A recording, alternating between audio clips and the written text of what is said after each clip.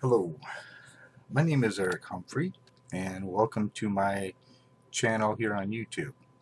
Um, for those of you who have been looking at my videos over the last several years, um, you know that I'm the individual that is claiming that the comic book The Crow was based on. And it was. Um, if you see some of my videos here, you'll see um, the very first issue of the comic book, which is this right here, the crow. And it's not a coincidence that the cover looks like me, because it is a painting by me, done by James O'Barr, on October 31st, 1988, and into November. He told me when he called me the next morning that he worked on it all night. They stayed up all night doing this watercolor. And that's why he used it on the very first cover. And that's also why all the other covers look different. And why every time he does the crow, or draws the crow, it looks different than from the very first cover. Because he was doing a portrait of the guy he met. And um, the reason James O'Barr and I had a falling out is when he found out that I was not just dressing up that way willy-nilly, created some character out of fantasy, but I was dressing up that way because uh, because my my beautiful friend and would-be girlfriend, if she wasn't murdered, Tammie Grimes. We were mimes in a 4-H pantomime troupe. Now this is Tammie's uh, mother, her older sister Tina. This is Tammie right here, and her little sister Tracy. And all three of these girls were, were in our 4-H pantomime troupe. Um, along with my brother Steve Cash and uh, Aaron Mahone and Dawn or Dawn Lightcap. And I'll, I'll give you, I'll show you a quick picture of them here. Uh, close this out. Go back. And this is a collage.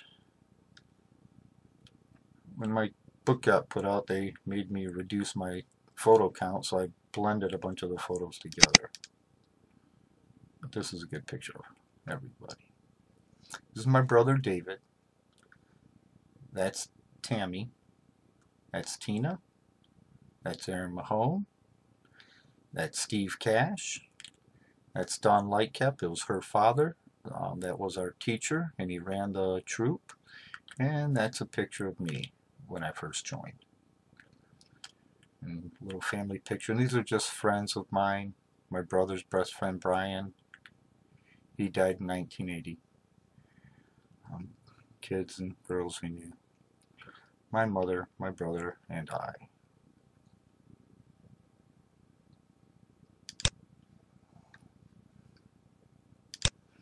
I would like to show you all the pictures of Tammie.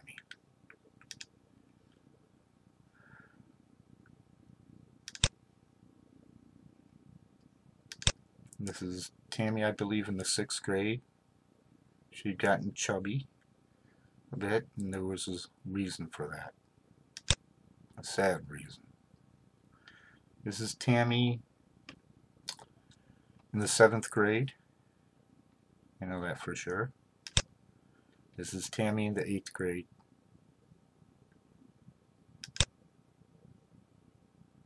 This is the same picture used on her um,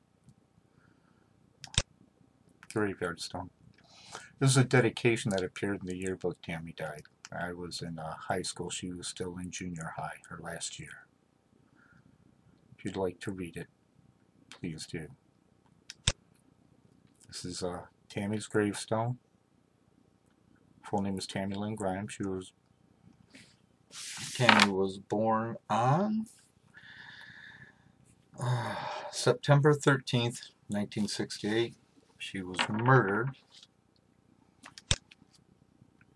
by this individual.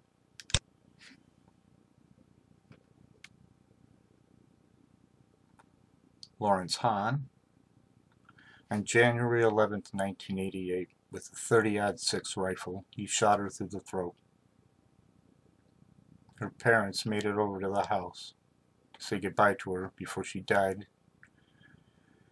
It was snowy. Her sister Tina ran over in her barefoot feet and yelled at Lawrence out on the porch as Tammie died in her parents' arms.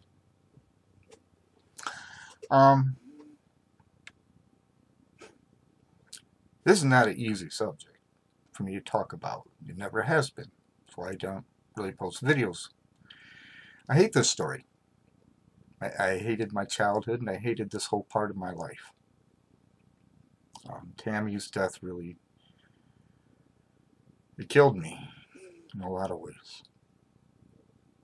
It still hurts. Pain never dies. You know, they um, a lot of psychologists make the stupid, dumbass, fucked up, excuse my language, assumption. Children are resilient. No, they are not. You damage a child, it's just like a junkie or an alcoholic. It's something you deal with every day. It doesn't go away. It stays with you. It's something you have to recognize and deal with.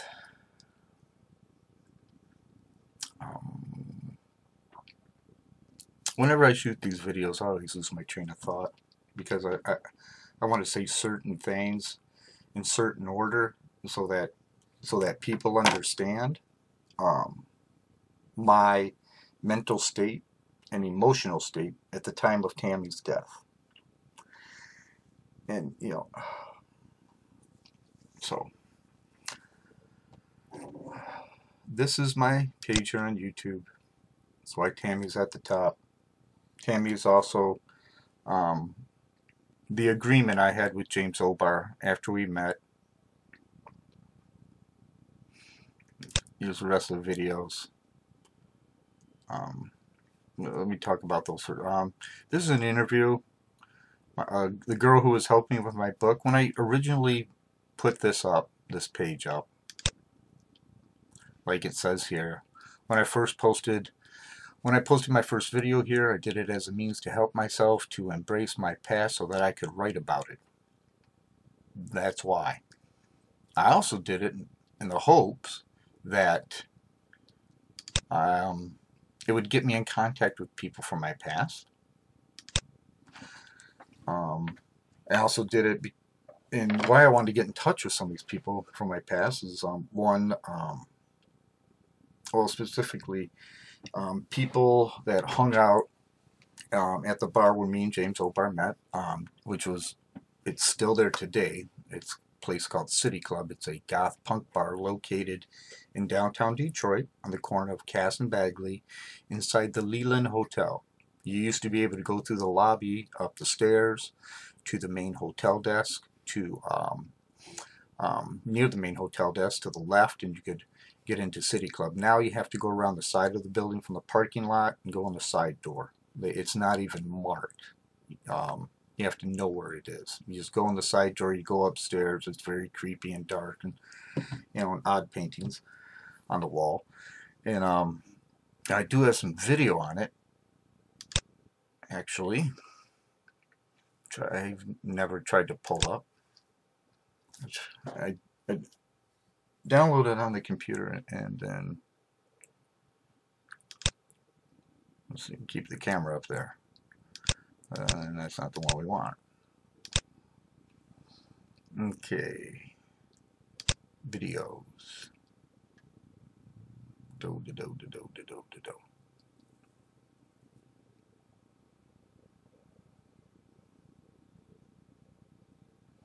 Here we go.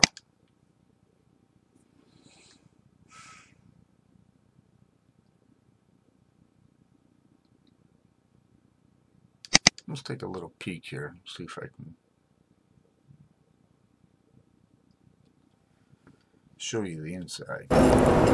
When coming to City Club, this is where we would usually park along this strip to avoid the people mover, or as we used to call it, the Detroit Surf. If I can show the inside.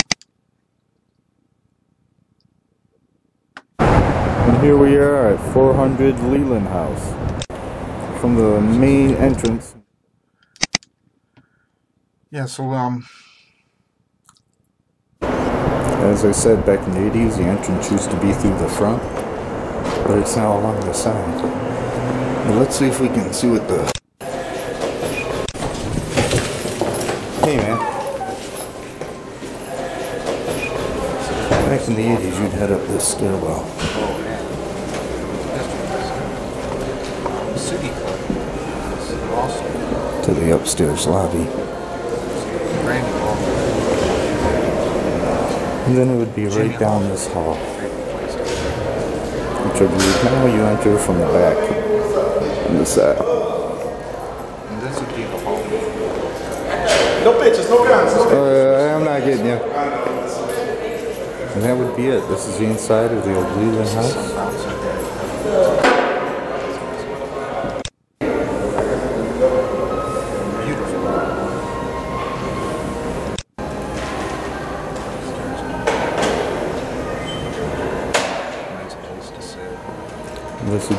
The front desk. Used to be a pool outside, also. Cool, because that's what Detroit is. Used to be the pool area. Used to be the pool area. That's what it is. This is the corner back side of Leland House, now the entrance to City Club. This is the back parking lot where I used to whip many ass. Actually, it belongs to the And this is the door. This is the door right here. Then it used to be a little more artistically That's it. That's the door you go through. Um, if you stand in front of the building, you go to your left, it'd be on the left side of the building. And I think this is where we go inside here. Well, let's see. Oh yeah, it still looks the same. Drawings on the side, uh, paintings, strange artwork. Very gothic.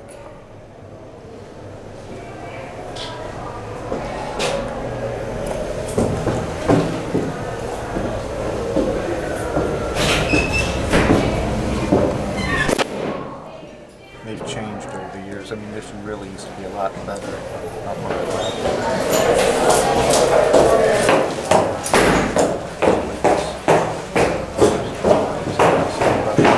This be the old door. Am I gonna be in your movie, man? Yeah, you can be my pod, yeah. This is the last video. Let's we'll turn the volume up on this one. This is it. The inside of City Club. The main entrance, the way it is nowadays. That's what I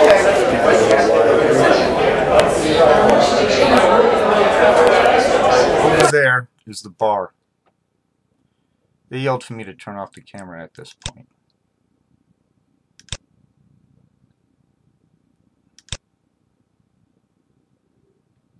Some of the people sitting. That's our. She told me turn off the camera. Let's see if we can back this thing up. This thing sucks. Like this over here is a bar right here.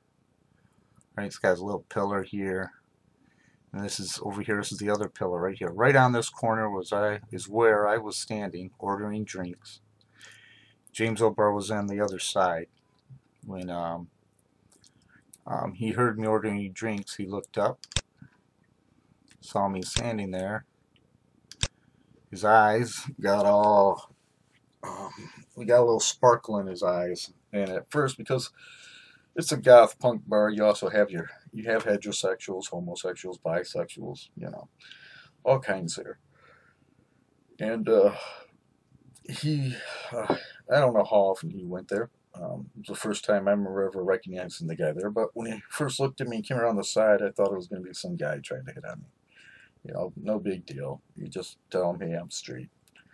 And they leave you alone. And uh, one of my buddies there, DJ Tom, back in the day, he's uh, homosexual, bisexual, actually and um, you know um, he found out I was heterosexual, and uh, you know he's turned me on to um, a lot of different music or stuff I had heard on the radio. I didn't know what the names were, and uh, but Todd was always great about that and uh, letting other guys know that you know he's straight. Just you know, you don't go that way. But I used to hang out with Todd there, and sometimes at another bar that was called Todd's. On Thanksgiving, we'd go there with a bunch of friends of mine. We'd, uh, you know, after Thanksgiving, we'd go hang out and have some drinks and uh, hang out with some friends. And my friend Liz, whose name I, last name I don't remember. So that's where I met James O'Barr. And the agreement we had, you know, um, after we talked about for, I could say at least, you know, anywhere between, had, had to have been a half hour to 45 minutes. He, and, uh, you know, the agreement we had is that he would um, dedicate the very first issue to Tammie Lynn Grimes. When you open that comic book, you should have seen this comic book is lovingly dedicated to Tammie Lynn Grimes. That's all I wanted. I want no other payment. But the fallout I had with James O'Barr is because when he found out that, you know, I was somewhat of a vigilante and what I was doing on Halloween, he um, uh, he wanted to change it. Um, and I was giving him all this background information on myself just so he could give more depth to the character. You know, because he told me that he had been trying to get a comic book published for years. I don't know how many years, he said for years. And that he had never been able to come up with a good character idea that they were willing to publish. Uh, but they published The Crow, which I like Ravens better than Crow. Everybody at City Club back then knew me as Eric the Raven. And that's why, you know, I am trying to get in touch with people from from my past. Um, different individuals. Um, and for these videos I'm shooting, I've tried to like follow a script I had in my head. I've even written things out, how, what I'm going to talk about here and there.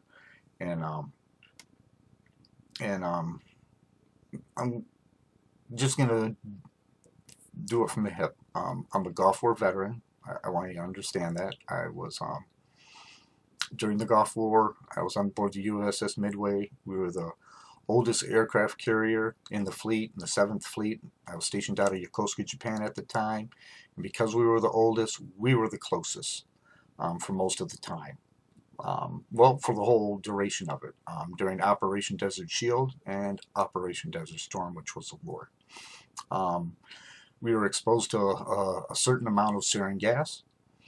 Um, then we were forced to go up to the officers' medical to receive some vaccinations, which was odd because our vaccinations really were usually held in the enlisted man medical. There was an enlisted man's medical and an officer's. We were taken up to the officers. Uh, as we walked in, um, was walking down the passageway to, to, get in line, I could hear um, Lieutenant Commander Clayton, who's the head of medical, arguing with the master at arms that the brig was full. Guys were refusing to take this shot. They were refusing to enter them into our records. Um, guys on, they separated us into two lines. Guys in one line got one shot, two pills from an unlabeled bottle. Guys in my line, I got two shots, two pills. Um, they refused to enter my record I asked. I made a thing about it. Threatened to take me to a brig. Oh, yeah. Before this happened, I was going to take the shot, and Officer Clayton pulled about 20 or 30 of us off to the side, threatened us with death or court martial during the time of war. If I ever see Officer Clayton, eh, I'm going to break him. I still feel that way towards this man. He destroyed my fucking life and sold the United States government and I don't want to get up. But what it is is, um, I feel like my nervous system has been stripped. If I get too happy, I get sick. If I get too sad, I get sick. I'm always agitated all the time. Um, it never goes away, and it's no way to fucking live at all. Um, so whenever, so that's why I don't like shooting these videos. This is a sensitive subject, and even more so when you're living with Gulf War syndrome when you're living with a, uh, a nervous condition. I am a, um, you can say I am an emotionally disturbed individual because of my childhood.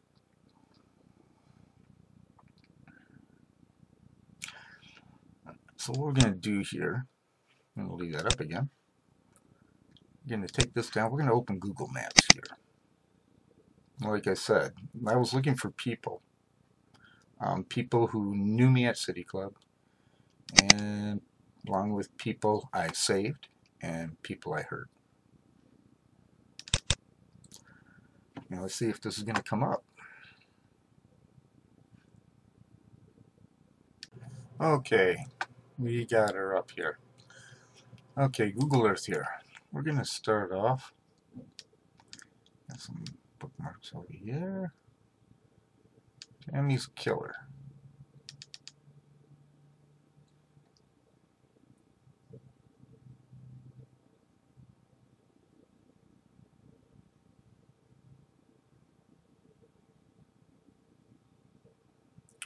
Um, this is Lawrence Lawrence Hahn's house. Back then, it's where Tammie was murdered. Right inside this living room. I guess this is where Tina stood. Now, um, just down the road here, through these trees or whatever, the right where this tree is, stop sign. Get to the stop sign. Now it looks far on Google Maps, but it's not. Um, so used to be a rose bush that grew here, red roses. Tammie used to like to stop and smell them.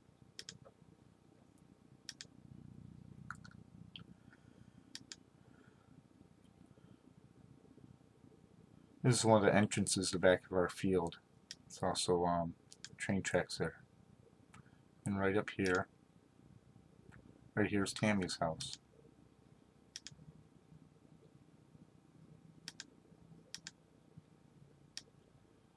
This is where Tammie lived and grew up. Where she spent 13 years of her life. I also lived in this neighborhood. Um, oh, these things are stupid.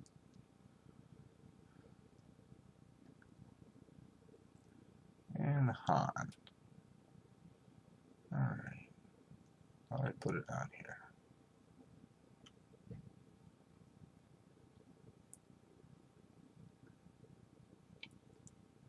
Oh, here we go. And Lawrence moved away. He moved over here. Down from Mount Zion Church. Okay. Now somewhere here, this right in the middle, you know, I think it was this house right here. I can't be a hundred percent sure.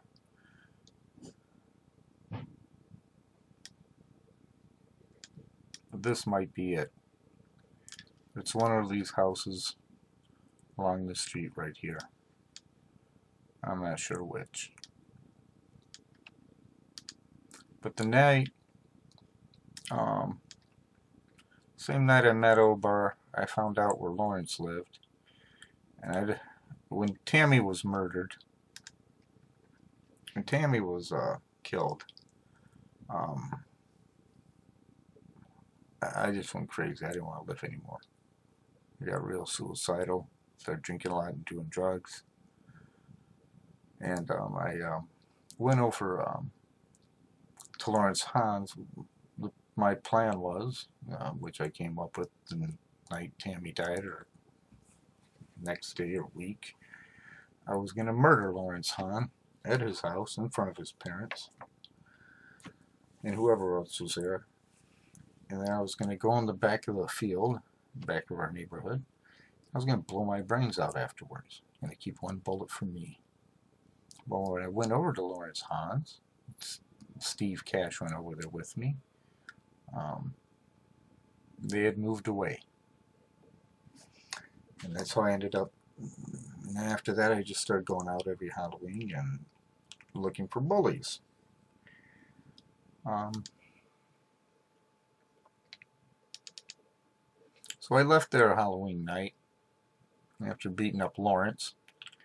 And uh,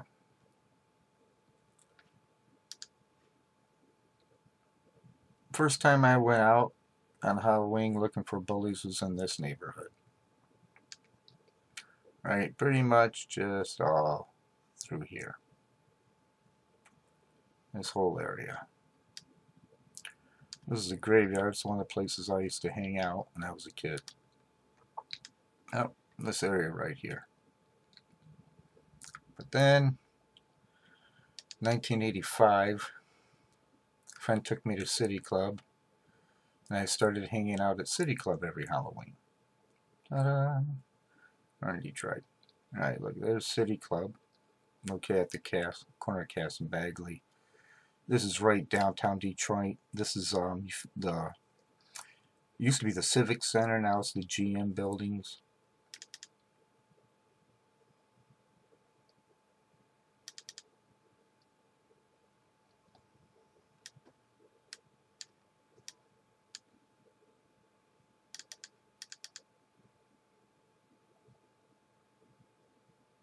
To give you a better look.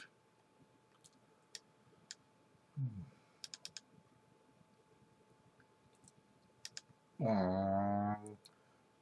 Paul. There's a people mover. Basically called the Detroit surfboard. You get drunk and see if you could go around it. There you go. Right down this would be Joe Louis. Over here, right there, that's like Greek Town. You get the general idea there. Let's go back to City Club.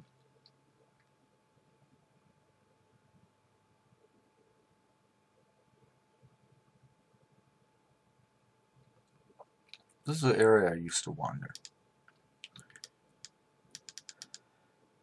I don't remember everything. I did on Halloween night.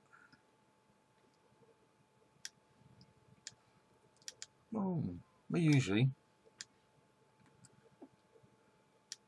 you park right down here, right on the street, instead of parking in the parking lot. And let's see, I don't know what year this occurred, but down here, it's one of the places I was walking through patrolling. There used to not be a fence here. It used to look different. There was like some pillars or something. It's like a little pocket in here. Like you, you could uh, stand in, right?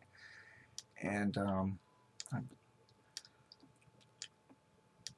and uh, one Halloween night, remember which, I heard some girl screaming, "Don't, don't!" Um, and I looked in and saw some guy on her.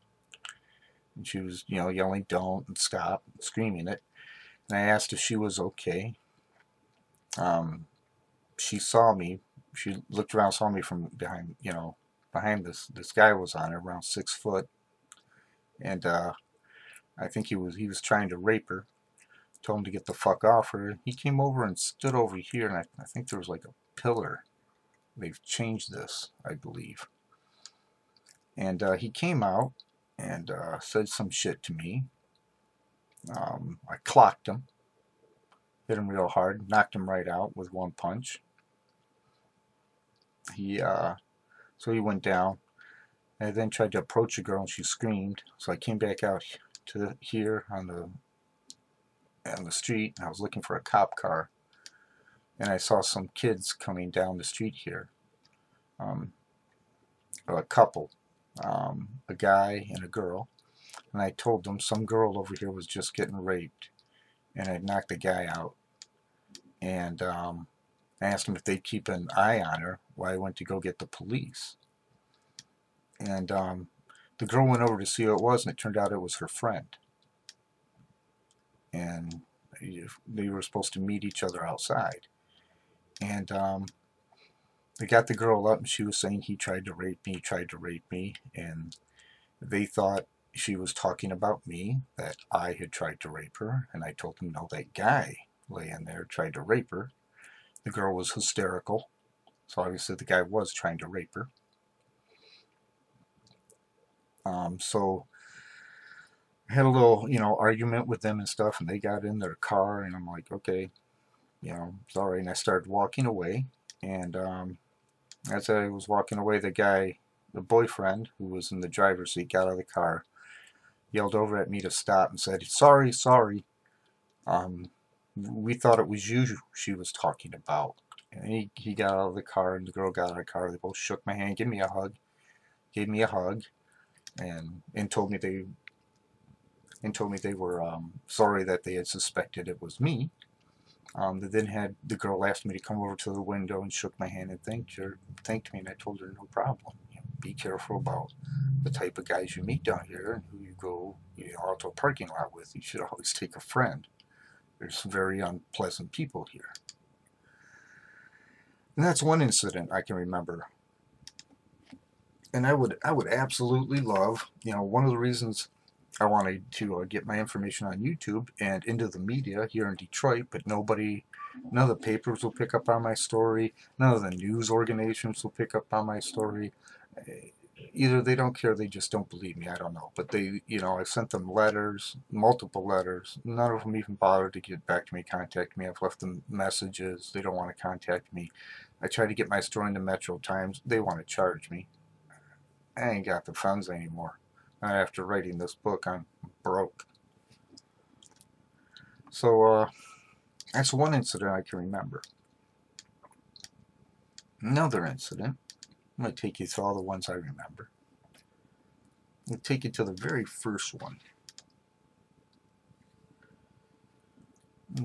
Okay, we'll go right down here. This is, there's a diner right here. Yeah, this is the diner used to hang out in. Um, these two windows are um, the the dance floors in City Club. It's uh, the main bars in one room, the dance floors in another. This is a dance floor. We used to uh, sit out here um, on the ledge right here and smoke joint. And there was a club here down right down below. It it might have been, well, it couldn't have been that door. It had to have been this door. And, um, yeah. Oh, people could see us going in. It could have been this door. It could have been this door right here. I think it was. I think was, the door was right here. And I think this is where the store used to be originally. Um, but some girls, they, they had seen what I looked looked like on Halloween. And I'd thrown them a joint down. I, um, this was a strictly a a club. This, you know, it was a. Most people hung out there were African American. White people were no knew not to go down there. to get your ass whipped. And the guy who kind of ran this side of town, that was the place he hung out. I got invited in there once um, by two of these guys who I'm also looking for. These guys knew me as um, Eric, and uh, on Halloween, the Raven. They'd call me Eric the Raven. And they're actually the two guys, when I was talking to O'Barr that night, the two guys that came into the bar um, and said, Yo, what's up, Eric the Raven? Duh, duh, the Raven. And James R was like, Your name's Eric Draven? He goes, That's a good name. And he wrote it down. Why he didn't put it in the comic book? Why did he try to say um, this other lady came up with it for the, the movie? I believe he, he's doing it because he's he's you know, he's covering up the fact of where he really got the comic book and that he screwed me. Okay, but they're, and um, the, these two guys I hung out with, I've heard they're still alive. Um, one of them works at a garage, and you hear I wasn't able to get in contact with him. Um, everybody at the club knew these two guys. They they, they wore uh, suits, always wore hats, black patent shoes, and uh, they do the electric glide, or we'd call the slide. And you know, one day I got out there and mimicked them, and I was a mime, and I can, I'm quite uh, fluid in my movements. So, you know, my buddy Art McClure and Art said it, it, it's like we all fit together. It's like I belonged dancing with them. So I used to, we used to do this all the time on Friday nights. Me, these guys would hang out, and uh, one night they invited me down to Prima Donna's was the name of the bar, and went down there, and uh, hanging out for maybe about 10 minutes, and this guy black guy, you know, everybody's a brother, comes over and he tells me, you know, hey man, not to be racist or any shit like that, but yo, um, you know, it's nice not to see no white folks every once in a while. Just be hanging out at the club and just, you know, the brothers. I was like, hey, cool, no problem. so I left. The two guys went with me. And he told me, "Man, that's the guy who runs this. You know, runs this side of town. Man, it's not somebody you want to go, you know, fucking with." Well, man, about an hour later, we're upstairs, and he comes upstairs um, to apologize um, for asking me to leave and told me, you know, once again, it's nothing to do with you being white. And he goes, but you're really cool about it and nice, so I wanted to come up and buy you a drink and drink with you. And I ended up hanging out with this guy all night. And uh, he told me he'd heard about what I had been doing around uh, City Club and that he had absolutely no problem with it. Okay, the first time, 1985, right here, I believe this was a store. I was out with my friend Eric, uh, Colleen McClure, Eric McClure's sister, older sister. I used to hang out with her first before I hung out with Eric. Um, she had gone inside City Club. I was walking down, I had come around the parking lot, was walking down here to go to the store to get some cigarettes, and there's some people hanging out here, and they yelled out, man, uh, he, he's got a gun, he just robbed the store, and this guy come running out, gun in hand and a bag of money, paper bag, and he's coming right by me, right here, and um, he was going along to my left side, which let's take it from this direction, as if you're me, coming this direction. Walking this direction, this guy was going to try to pass on my left, and he stumbled, so I clocked him in the jaw, knocked him out, smashed his face into the, right here into the gutter, and went sliding face first and was out cold. I then went into the, just walked into the store, told them I want a pack of cigarettes, this and that. And they're like, hey, you just, and, uh, one of the store owners, um, people work there, was like, you know, you just knocked that guy out, thank you, you know, you just, you're going to have to stay around and file a police report. And they didn't charge me for cigarettes, and I told them, well, that's, that's your thing. And I just left and walked across, walked left and went back, uh, went and met with Colleen and and uh, went into a city club for the night. But that was the very first guy I remember uh, messing up or protecting. And since we're right over here, I'm not doing any of these in orders, but I'm sure those people who saw me, um, plus the police report, would have mentioned what I looked like. Um, I would I would absolutely like to have the police reports. I tried. I contacted the Detroit Police Department, um, told them the location of the area, and I was looking for police reports of incidences that took place there on Halloween. I was informed, I don't know if it was back in the 90s or whatever, what he told me, I don't remember exactly, but he told me that all those records are gone, that they kept them in the basement, the basement flooded, and that all those police records are gone, and that's why I don't have them. But the incident on Lawrence Hahn in Clarkston, Michigan, um, I don't think it was the Clarkston Police Department, but I called the police department, either Clarkston or Waterford, has a police report of me hitting Lawrence Hahn at his house. Um, I'm going to go back to Lawrence Hahn right now. Um, Lawrence Hahn, when I knocked on the door, his mother answered the door. I'm dressed up like you see in the comic book. Pulled this out of out of storage and used this sat in a box for years. Here's a here's a jacket I used to wear. And if you notice, look, it's just you know, it's all beat up, worn out. The belt's lost. I don't think there's a burn mark. Oh, there's still white friggin' some makeup on there. Yeah, it's a jacket I used to wear. It doesn't really fit me anymore. I could never bring myself to throw it out though. And if you look, when you look at the comic book, you'll notice there's a little line there. That's why the collar looks the way it is, because the collar on my jacket, it's like a priest collar almost. It's the little belt and the little hook thing on the side, and that's what that little line on the picture. We'll pop that up real quick.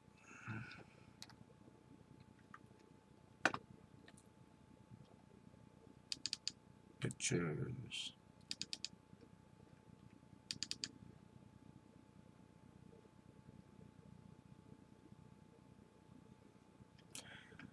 And these programs don't seem to really mess with it. Yeah, there's a better one though. This one's a little dark. You can see a little line here, but that's why this collar is like that. And if you notice all the other collars and all the other drawings, he does it with a lapel.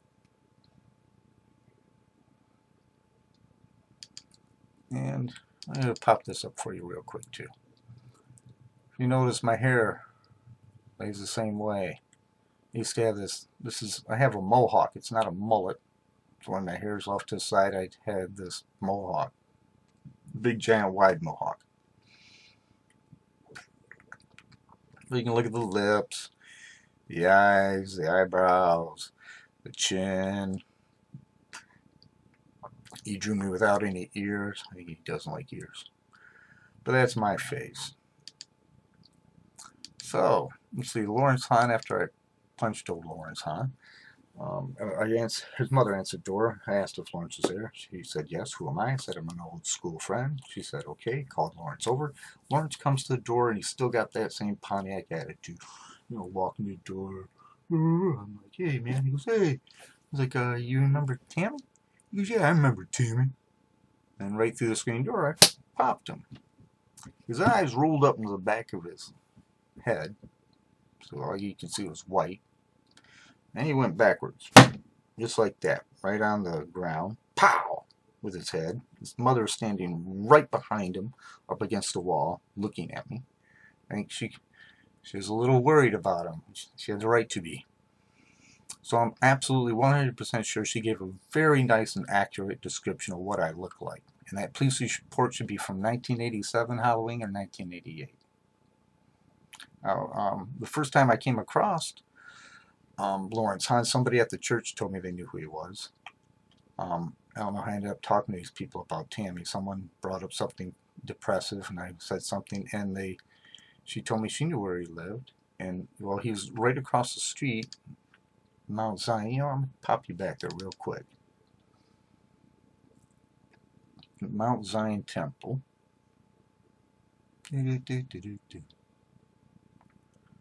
Alright. Hmm. Why is that got Mount Zion way over there? Right now I'm confused a little. Uh,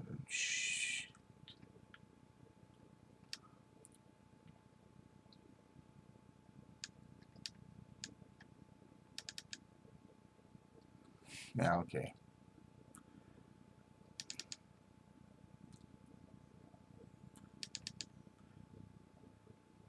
Alright, here we go. This is Mount Zion Temple. We are standing up here, the main doors. The night I went and punched Lawrence Hahn, we went in here, pulled in the back of the church, took the license plate off my car, had friend Eric McClure driving. And uh, so, and this was the store. It looked different back then. The entrance was just over here. When I went over to confront Lawrence Hahn, he disappeared from me. I, I couldn't physically see him at all. Um, was, I believe that was because I wanted to hurt him so bad. And back we go.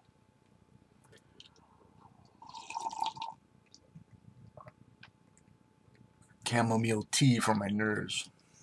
I'm trying to shoot this, so here we are back at City Club and go right back down over here. Do do do. Da, da, come on, computer. There you go.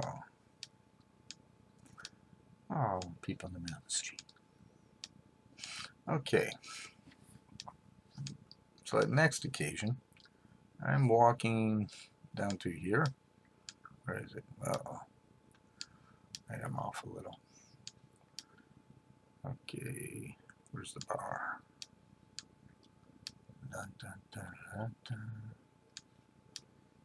What the? Uh-oh.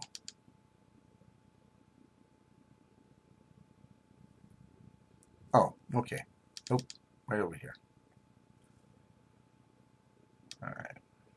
Okay, so, let's see, let's get oriented. Oh, alright, there's the Leland Hotel. Okay. And over here's a bar. Whoops, a little too far. Right here, yeah, this is it. Now, on another occasion, I'm walking down here. Um, this is the rail system. This is Times Square rail station uh, for the people mover. Um, I want to get closer to this edge. There's a guy, as I'm walking, I'm probably about, I just, probably about right here. And I see this pimp is over here with this girl. The cars are parked this way back then. Weren't parked up against the building that way, or parked this way. And uh, this pimp, he uh, just punched one of his girls in the mouth. And I saw something white go fly out of her mouth and ding, ding, ding. Who even heard it? Hit the pavement there. I got up closer, I could see it was a molar out of her mouth. The pimp, who's big muscular guy, well, maybe almost uh, six foot, comes right out and he's facing the, the direction you're looking. I'm walking this way, so I'm facing. I'm facing going down the street this way, and he's facing in this direction. And he says something to me about, "Hey man, you want some blah blah blah?" See, I was in my after you know he hit her. Uh, on, on Halloween, you commit any act like that, you're gonna draw my attention, and we're gonna go right then and there. I'm already decided, once I've already seen him hit her, that when I saw the molar, this guy's getting fucked up. Sticks his face out like an idiot. And says something to me about me wanting a girl or something like that. I don't miss a beat while I'm walking. I don't stop. I don't pause. I just keep moving like I'm almost ignoring him. And he, when he's perfectly where I want him, I clocked him in the jaw and I hit him so hard his jaw shattered. It sounded like if you, you ever take a bottle and you drop it or throw it the way it breaks, or you throw bottles. I was a stupid punk little kid at a wall, and if you get it like right between the wall and the pavement and hit it, it just shatters. It makes this certain sound. And that's what this guy's jaw sounded like. I kept walking. I think I had gotten to about right about here the uh, prostitute is coming after me. She's angry and pissed off. And I stop. I don't turn around. I just tilt my head down and look up at her and grin at her and smile and ask her why she's not grateful. And she stops, pauses, and looks at me, um, scared. And I told her, he hit you, I hit him. I then made my way down past the bar.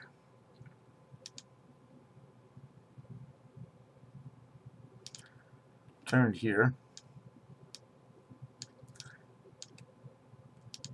There used to be a throughway here, a thoroughway. You could get right through here.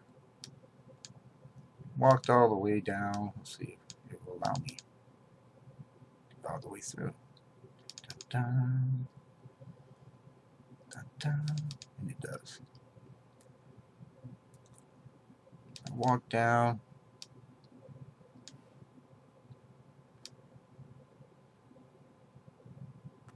Yeah, came out, looked back down the street, and I saw that the cops were down there. And that uh, there's an ambulance, and they were picking him up, and police were filling out a police report. Now I'm sure the prostitute, if she's alive, remembers this.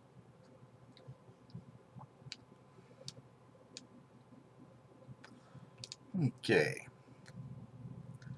Another incident that happened. Okay.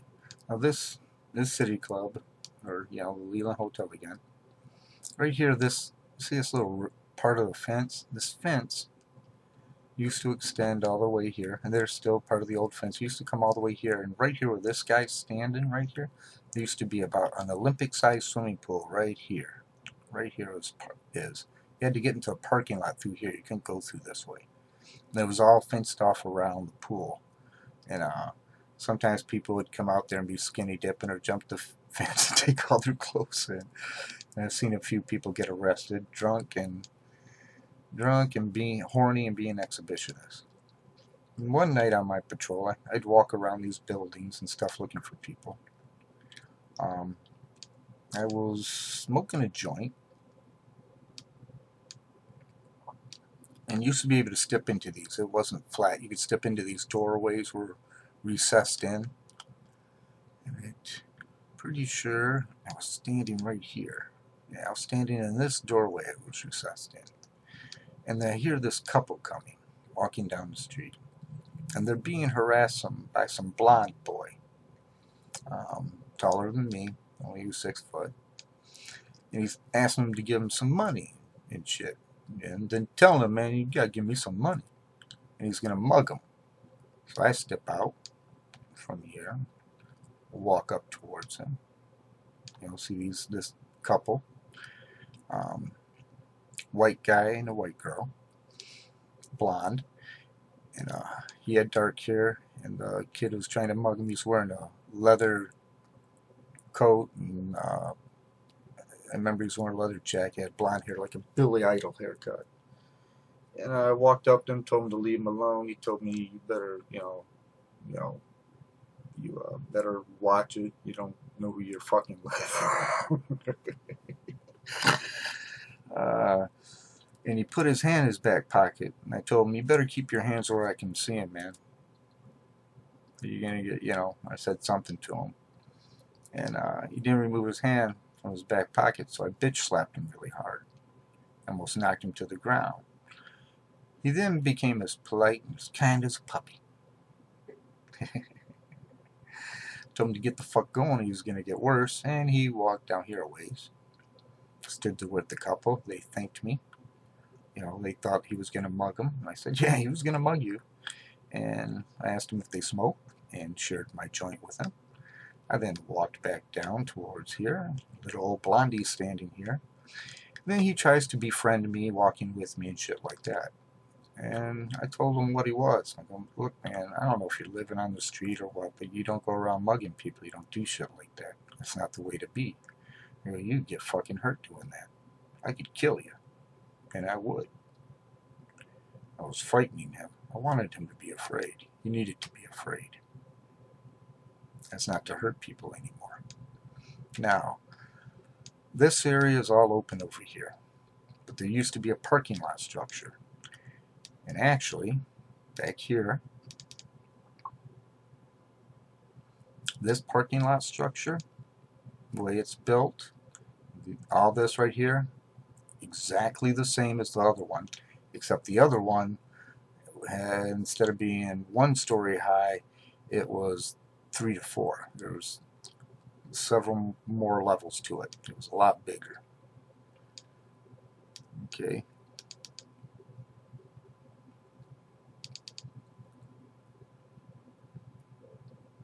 That parking lot stood here for years. Alrighty. Also here at City Club, like I told you, the pool was over here. Back here, right here at the very back of the parking lot, there was um, two or three basketball courts here, right in this area. Yeah, this is where most of my assaults took place. And over here is the castle.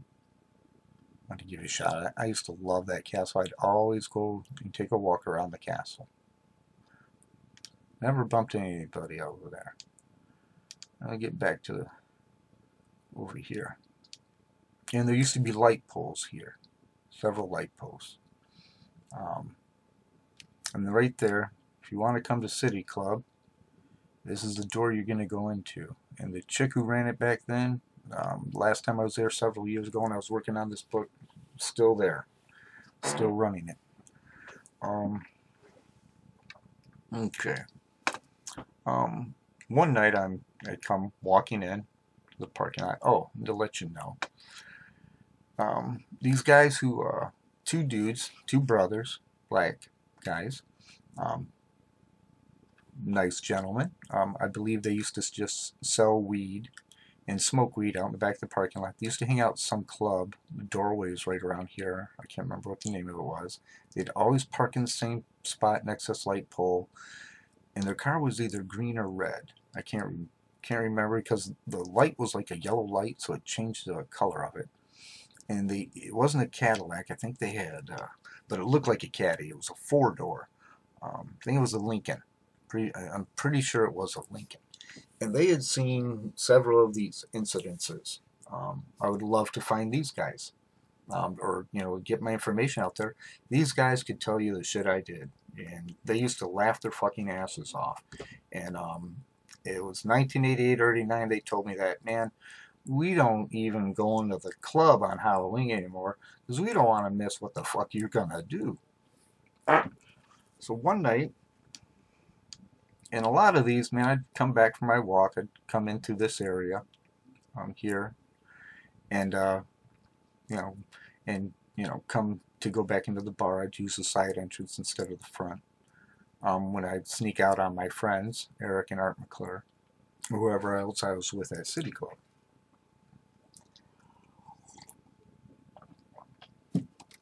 Let's see. One night I come in, there's a big, tall dude, man, way bigger than me. He's six foot something, beating the shit out of this guy, kicking the shit out of him, and um, and uh, you know, I told him, you know, you got him down, man. I, I, I think you can let him up now. And he's like, uh, you know, better fuck you, man. You gonna get you? You want some too, or something like that? You know, I pushed him back off the guy, helped the dude up, and told him, hey man, once you got a guy down, he's had enough. And the guy threatened me. I then clocked him in the jaw, knocked him to the ground, was and kept punching him every time he tried to get up. He was on his knees, and every time he pushed himself, excuse me, up off the ground, um, I clocked him again. And uh, I wasn't hitting him as hard as I could, just wanted him to feel a lot of pain. He was raising up his hand, trying to block my punches, begging and pleading for me not to hit him again. I then picked him up off the ground, even helped to brush him off. Now, every time I'd bump into people like this, I'd give them a talk about respect, not being a bully, what it's like to be on the other end. Now, over here, the guys, the two brothers, they're laughing their asses off in the car. Usually, after I'd see them, I'd go over and smoke a joint. Now, there was another incident where I came came into the parking lot, and there was, I think it, there was seven people here.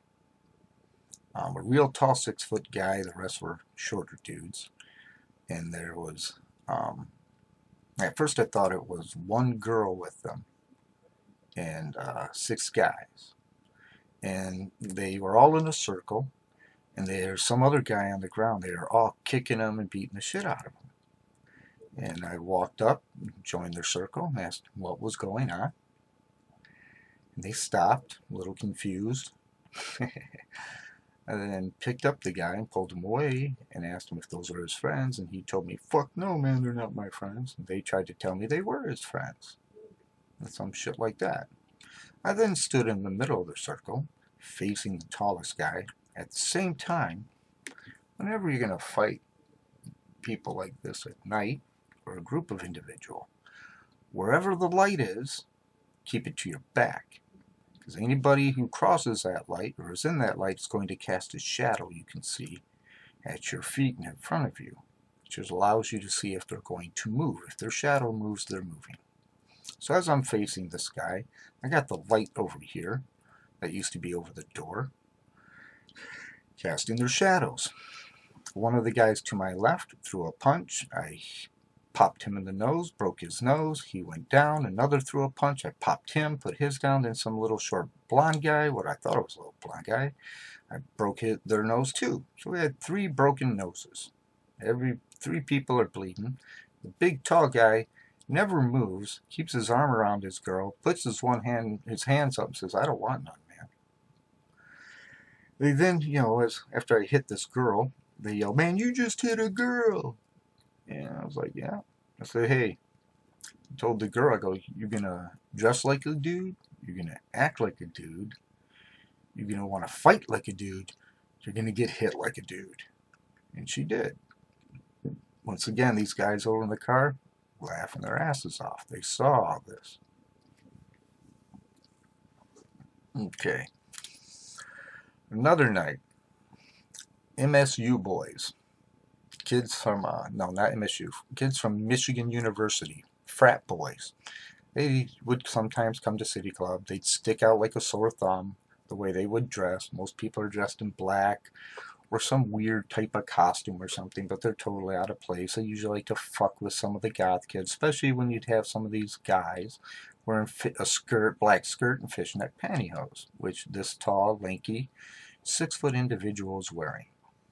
Come into the parking lot, and right here, these guys are had just got done you know, they were kick as I was approaching, they were kicking and beating the shit out of this dude, calling him a faggot and shit like that. And my friend Colleen McClure is gay. I hung out. Me and Colleen used to go out and pick up girls together. I used to go with her down to Eight Mile to a dyke bar called Sugar Bakers, gay bar. I'm sorry if ain't you're. I respect everybody. I do not like people who are racist, and I don't like people who discriminate against others for things that do not concern or harm them in any way. Your sexual orientation is your private own, and no one has a right to judge you on that. You're not harming anybody. If you're a rapist, well, you should fucking die. Or a child molester. So these guys had just kicked the shit out of this dude. They'd gotten away and walked over, and were behind some few cars, and we just made it into over here to where the basketball courts were. The brothers are sitting here, and this night, on this night, they're both sitting in the front seat, or and they've got three girls sitting in the back. These guys said this shit. You know, I told them, called them, said something to them. Yeah, you know, it's real manly, five on one, bunch of punk bitches. And they called me a bitch, and I told them, yeah, I'm your bitch. Why don't you come get some? and they agreed. So I came running across some cars on some very slippy shoes. Three of them were near a car like this, you know, off to the side. So I come running across the hood. I step on the hood of this car. And As I leap off of it, I kicked one in the face, knocked him out. Kicked another in the face. So while I'm still in the air, knocked him out. And as I was coming towards the ground to land, I punched a third and knocked his ass out. The remaining two ran their asses off, running past through here. And do do do do do. This used to just be uh, a street, and they ran up here into the parking structure up to the next floor. And I'd gone in, chased them inside there. This road used to go straight through right here. This is where it was. This is all changed. So I chase them into up into this parking structure, the other two guys, and they hide from me. And I tried to get them to come out, and I told them, you know, I'm not gonna, I'm just gonna beat the shit out of you a little bit. I mean, if you like to fucking hit people and hurt people, then you deserve to fucking, you should like getting hit and hurt, you know.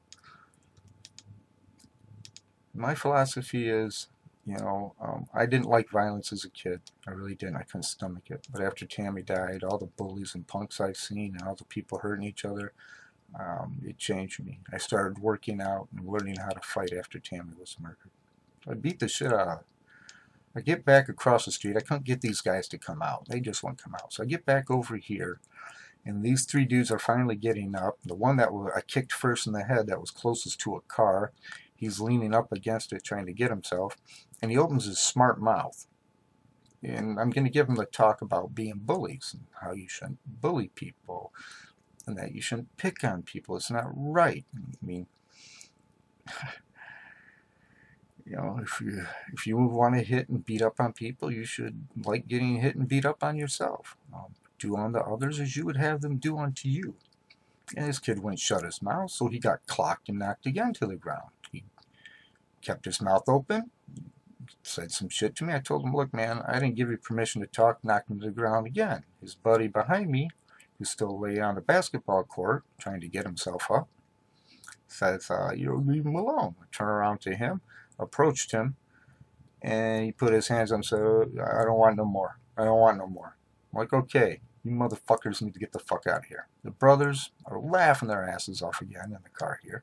I go over to them. I'm all hyped up after beating the shit out of these five dudes like they were nothing but a bunch of little children. which they were, oversized children that don't know how to treat people properly.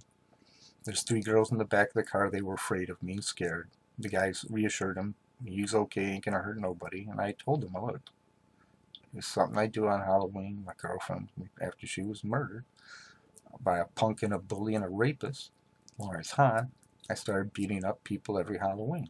I go, I patrol this area every Halloween. And they told, the guys told them the same thing. I told them the same thing the guys had already told them. They knew my story. They knew about Tammie. I shared it with them. Hung out, smoked a joint. These guys and girls could tell you exactly like I, what I looked like. And uh,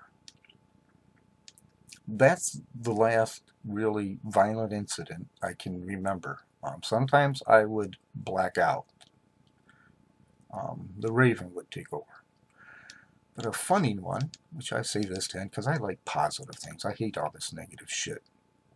Really don't like telling negative stories. And this whole thing is all friggin' negative. One night, now there's a light right here that shines down. I'm over here. Let's see if we can see in between these vans. I'm over here. I'm over here somewhere. Probably right in here. I think right about there. Yeah, because that door was there back then too. Or a window, I can't remember what it was. And uh, there's some garbage cans here. And I'm standing up here smoking a joint. And this couple comes around the corner. So I kneel down. I take my trench coat and I put it over my head and put it around me so I look like just a bag of garbage. And they come and they stand right next to me. I mean, right next to me. And start making out. Girls up against the wall. Guys got her up against the wall. Ball headed dude. He's um, good sized guy. Definitely worked out. Husky dude. Um, beautiful blonde lady. well endowed. And uh, they're making out. And the brothers are sitting over here and they're watching this. And they've rolled up the window in their car because they've got their hands over their mouth and they're laughing. And they're giggling. They're looking. I can see them. They're looking at me. I'm looking at them. I slowly stand up, take a good hit off the joint, blow it in between them, and I go, boo! they both go running. And you know, it's friggin' hilarious. The brothers start laughing. They go running around the corner, and I'm laughing and screaming back at them, I'm sorry! Sorry! And the guy went around the corner. Comes back and looks down towards me, and I got my hands up. Look, look, man, I'm sorry. I was just having a little fun. And he's laughing. He's slapping his leg. He's laughing. He's half bent over. Jesus fucking Christ, man. You scared the shit out of us. Oh, fuck. Like, oh, man, I'm sorry. I get around the corner, and I see his girlfriend going inside. I'm like, oh, shit, dude. I'm sorry if I upset her, dude. He goes, no, no, no. You made her piss herself. She's got to go take her underwear off and get cleaned up. So I offer him the joint. He's like, yeah, we wanted a joint. We were looking for one. And we're smoking and we're hanging out talking. And I apologize. And said it was okay. And she comes back down. And I'm like, I'm sorry. I'm sorry. You know, I didn't mean to, you know, uh, um, frighten you that bad and uh, you know, I could tell she was a little scared of me and stuff. Well, you can punch me if you want. so she did. She slugged me in the arm. And I was like, you can hit me harder than that. You go right ahead, dear. You ain't gonna hurt me one bit. And she did. She gave me a good bust in the arm. I think she ended up bruising me a little. I'm not sure, but she gave a good swing. And uh, the brothers laughed their ass off. I then went over and hung with them, and they always had a joint, and we uh, smoked a joint. But those are some of the people. I would definitely remember those are some of the people I helped. Plus, um, that couple that were getting mugged, going over here to the diner, the couple that were getting mugged, do do do, you know, I took it, it's down that, that way, right, well I follow the arrow, it's down there. Um, were actually inside here one night.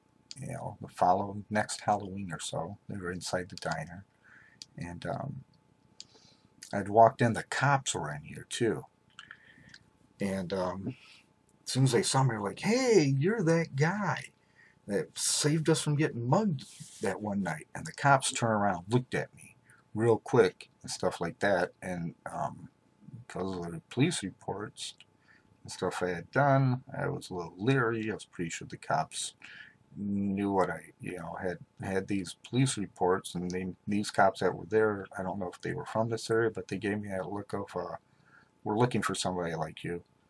So I said to the couple, I go, I go, that wasn't me. You you probably just bumped into somebody else who was dressed up like me. Said that quickly. The cops, you know, they were just getting ready to leave. They just gotten up from the table, finishing their food, and had paid their bill.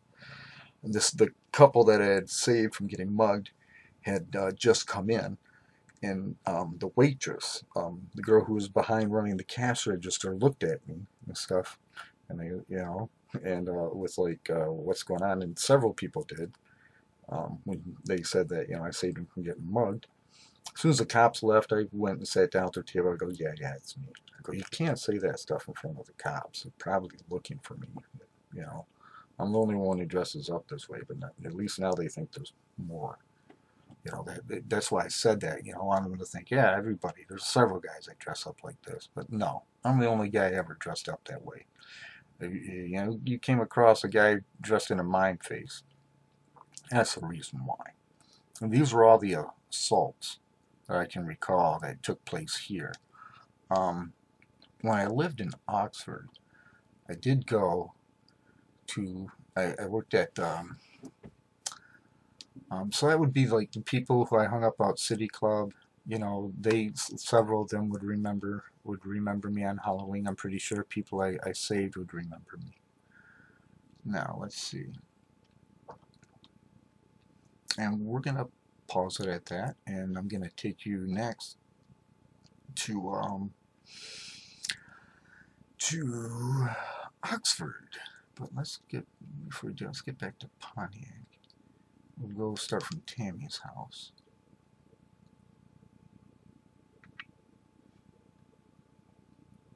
Okay. I got kicked out of Pontiac School District after Tammie died um, for saving a kid getting mugged and this, killed in the school by a guy from Young Boys Incorporated, which was a gang out of Detroit back in the day. Alright, let's see. Alright, I'm a little off here. Where's north? North. Come on, baby, give me north. There we go. Now I got my bearings. Let's see. Perry Street. There we go. Alright. Uh, this, this is, you can see here Tammie's house, where Tammie died. Um, this is Perry. It's also known as M24. It's Lake Orion Township, Oxford. I believe this is Drahner. We lived in Oxford. Lived off of Drahner Road. Oops, uh, hold on here. Do, do, do, do, do. Do, do, do. Yeah, it's easy to spot our old house. This is my father's old house. Um, only other homes, there used to be these homes in the front. No homes here. Nothing over here. It's all fields. Um, no homes here. No houses. Gas station right here. There's nothing here. Okay, no homes here. Off to the side here, absolutely nothing. There's these two homes there. Nothing here. Back then, wow. Yeah, this is this nothing here. This is just all um, um, woods used to run through. That's where I used to go running at. Now, back in the day, I worked here at Oxford Video. Dun, dun, dun. Let's get down to street level here. And I was going to take a break, but we're going to, I want to leave off with you at Oxford Video. Let me get this down. Boom. Here we go. Alright. We'll head down the street here. And a little bit farther. Da da da. Da da da. Oxford Video had had uh started off way down at the other end of town. Hmm. Hold on, sure. Don't Go too far. No.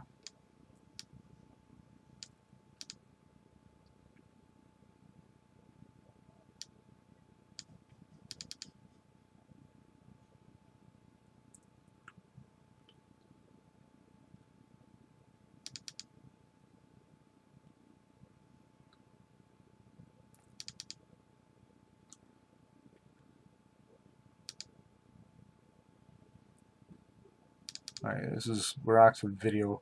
First one video before Blockbuster. I was working here just when Blockbuster started. Yeah, this right here. This used to be Oxford Video. This is across the street from. Uh, used I don't know what they. Yeah, it's still Choo Choo's Chocolate. You buy chocolates there and learn how to make chocolates there. My stepmother Sandy went there. Right down here is downtown Oxford.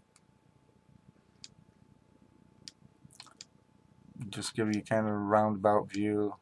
Oxford Marketplace. This didn't exist back then. This building was here, and this very front was Oxford Video. I used to work here. I would always, people who came into the store um, would see me dressed up as you did in on the cover of the comic book every Halloween. Um, between the year of uh, 1986 and 1987. Um, that Halloween, several people came into the store. You know, they come in to get Halloween videos. I was passing out candy. A few people took my picture. I took my picture with a few people. And this is before the comic book came out. You'd see what I looked like exactly. So there's there. Um, those people um, that came to Oxford Video. I was hoping to track down some of them. Now, Brandeau's, yes, the Brandeau sisters were two twins that worked with me at Camp Oakland. And they lived down here. In the, uh, 1987, when I got off work, I went for a little walk before I was going to head to City Club. It was still early. I think I got out of work at, we closed at 9 or 10, so we closed early. We're just heading down Oxford.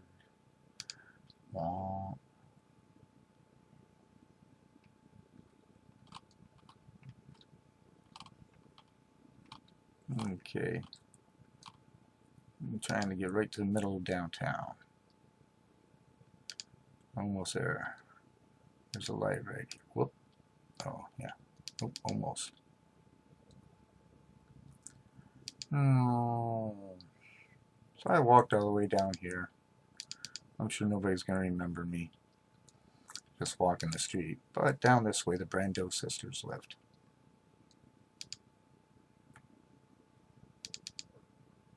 And I was walking and I was heading over I think it was this road to walk home. Yeah to go home and the Brandos lived right I heard them over here. I thought I'd just walk by and scare the shit out of them before heading off to City Club that night.